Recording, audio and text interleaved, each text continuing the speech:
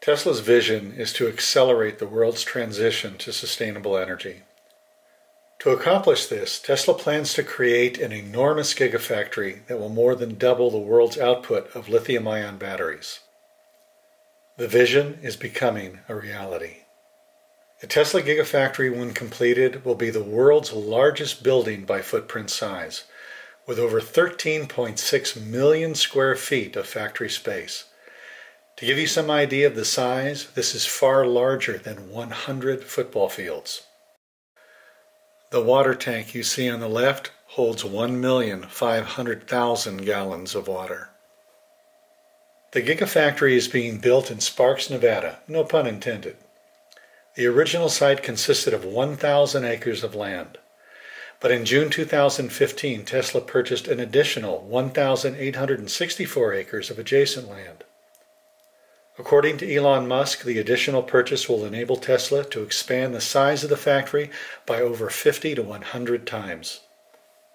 This gigantic factory will help Tesla to dramatically cut the costs of battery manufacturing, further reducing the cost to purchase an electric vehicle. Considering that you'll never have to purchase gasoline to fill your car ever again, the ongoing cost savings are enormous. When completed, the Tesla Gigafactory will be fully self-sustaining, using no fossil fuels, natural gas, or petroleum.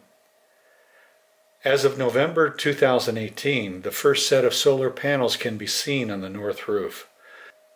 To help you appreciate the size of this solar array, this is a semi-truck and trailer. When completed, the ground-based and rooftop solar arrays will be 70 megawatts in size, which will be 700% larger than the largest installation today. Tesla's goal is to ramp up production to 500,000 cars per year. Tesla alone will require today's entire world supply of lithium ion batteries. The Tesla Gigafactory was born out of necessity and will supply enough batteries to support Tesla's projected vehicle demand. The name Gigafactory comes from the word giga, a unit of measurement representing billions. The Gigafactory is being built in phases so that Tesla can begin manufacturing immediately inside the finished sections and continue to expand thereafter. Already the current structure houses more than 4.9 million square feet of operational space. The Gigafactory is only about 30% complete. In mid 2018, battery production at Gigafactory 1 reached an annualized rate of roughly 20 gigawatt hours, making it the highest battery volume plant in the world.